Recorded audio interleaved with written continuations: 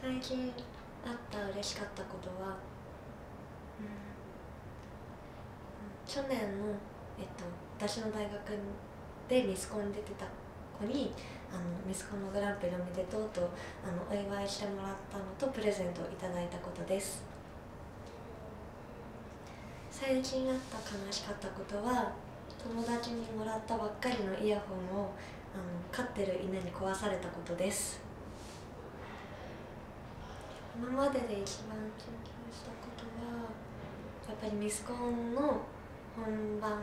とあの今この動画を撮ってるのが割と今上がってます。どんな能力？えっと滑舌よく喋れる